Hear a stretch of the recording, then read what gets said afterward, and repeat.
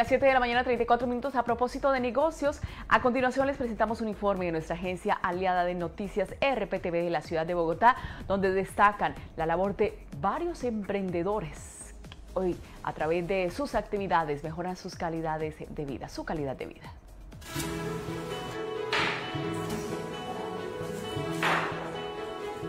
Nos capacitamos para primero ser emprendedores, ser mejor personas y poder hacer algo que nos guste hacer y más que todo ser reconocidos por la sociedad.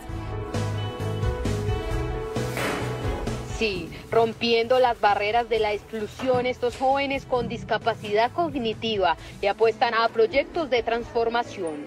Es eh, un emprendimiento de fruta deshidratada, 100% artesanal y natural, frutos del parche. El modelo de economía solidaria nos permite romper con los modelos tradicionales, históricos, en relación a la discapacidad.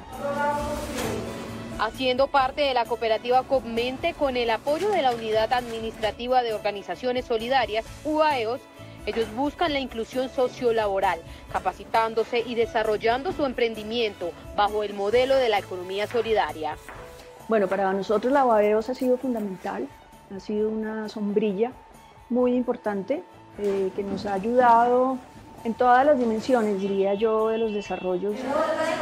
Ahora con su emprendimiento Frutos del Parche, ellos mismos hacen, empacan y venden sus productos para después ser los directos beneficiados, sin necesidad de intermediarios. Hay de piña, eh, aquí hay de mango. Es un emprendimiento de jóvenes con discapacidad intelectual que se hizo para encontrar una salida laboral. Queremos hacer romper las barreras de que las etiquetas de pobrecito, de que no puede.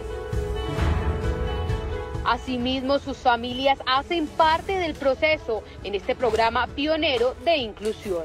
Tengo mi hijo con discapacidad intelectual. Eh, ha sido una valiosa oportunidad. Haciendo realidad sus sueños, su objetivo es promover una vida con autonomía, responsabilidad y respeto que fortalezca la calidad de vida de los asociados desde la inclusión y el trabajo en equipo.